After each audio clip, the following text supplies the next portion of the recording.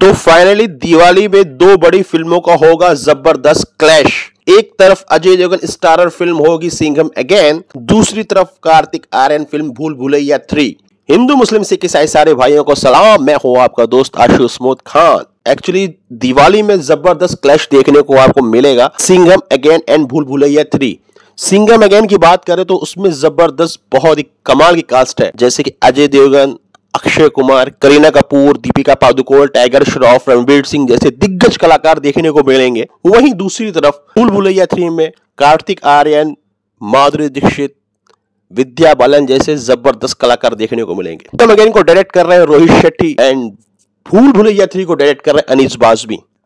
एक तरफ़ action packed film है सिंघम अगेन दूसरी तरफ़ हॉरर कॉमेडी फ़िल्म है भूल भुलैया थ्री जैसे कि इस टाइम टाइम चल रहा है, वो हॉरर कॉमेडी का चल रहा है. एग्ज़ाम्पल जैसे स्त्री ने कमाल का परफॉर्मेंस दिया बॉक्स ऑफ़िस पे, अभी भी चल रही है. और आई होप कि ये जवान का भी रिकॉर्ड तोड़ देगी और बॉलीवुड की नंबर वन फ़िल्म बन जाएगी. बट सिंघम अगेन को लेकर बहुत ज़बरदस्त एक्साइटमेंट लोगों को तब से है जब से इस फ़िल्म का अनाउंसमेंट हुआ था. जब से ये बातें निकल के आने लगी, ये भूल भूलैया थ्री से क्लैश कर रही है. तो अजय देवगन फ़ैन थोड़ा नाराज़ है. क्योंकि ये फ़िल्म 500 करोड़ क्रॉस करने का पोटेंशियल मादा रखती है। लेकिन मेकर्स जो है वो चाहते हैं फ़िल्म क्लैश हो। उनको अपनी फ़िल्म पे बहुत ज़बरदस्त कॉन्फिडेंस है। उनको पता है कि ये फ़िल्म कमाल करेगी, धमाल करेगी। आपको पता है इसका टीजर जो है फ़र्स्ट लुक आपको देखने को मिलेगा अक्टूबर के फ़र्स्ट वीक में।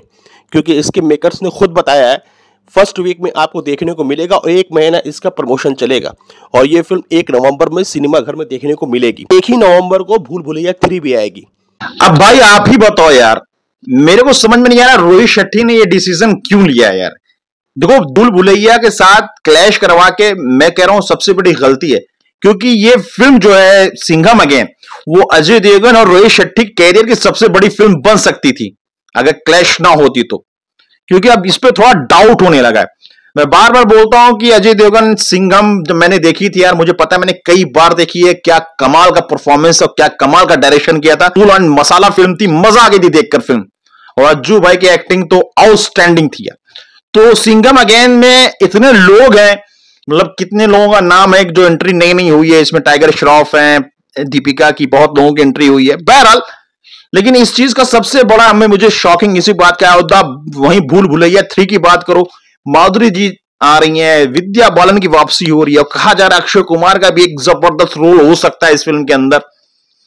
तो धमाके और जो हिसाब से चल रही है, आजकल हॉरर स्टोरी कॉमेडी तो वही ज़्यादा कमा रही है। सोचो, स्त्री टू है टॉप फ़िल्म बन गई यार, को एक्सपेक्ट नहीं किया था। क्या कर सकते हैं यार? मेरे को तो समझ में नहीं आ रहा है, ये डिसीज़न किस लिए लिया गया, क्यों लिया गया बहरहाल आप क्या बोलोगे इस क्रैश के ऊपर? मेरा तो मूड ऑफ़ है यार। अज्जू भाई की ये फ़िल्म में चाह रहा था 500 करोड़ से ऊपर कमाए, कम से कम हंड्रेड परसेंट बहरहाल, अपने को तो पूरा सपोर्ट है यार सिंगम अगेन को ही